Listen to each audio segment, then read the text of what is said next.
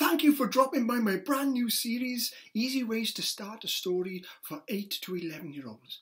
Now I'm going to dive right in. I've got two characters, Ethan and Angie.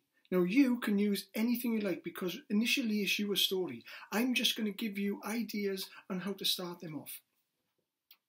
Ethan sat up in bed and wiped the sleep from his eyes. The sun filtered in through the curtains.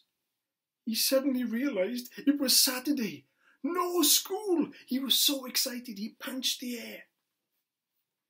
Angie sat at the breakfast table. She was eating her favourite cereal, chocolate cornflakes. She turned to her mum and said, Mum, can I stay in today and play my video game? Her mum said, No, you can't, Angie. She said, Why? She said, Aren't you going to be meeting Ethan down the park by 10 o'clock? Angie had forgotten. Her heart sank. There you go. Once upon a time, once there was, nowhere in sight. This is easy ways to start stories. Here's another tool. Ethan sat on the swing in the park. He was drinking a bottle of water. It was quite a hot day.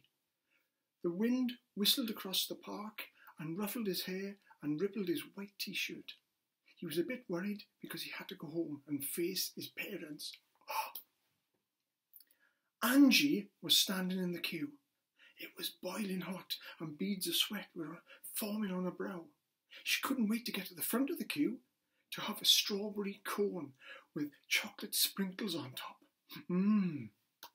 Well, there you go. Easy ways to start a story without using once upon a time or one day or anything like that. So, I'd like you, if you would, to subscribe to my channel, to like and put a comment, to tell all your friends, Teachers, if you're watching these videos and enjoying them, at the end there'll be details on my website and how you can contact me if you want me to do a school visit where I do presentations and author talks. So thank you for dropping by and I look forward to seeing you all in the next video. Bye for now.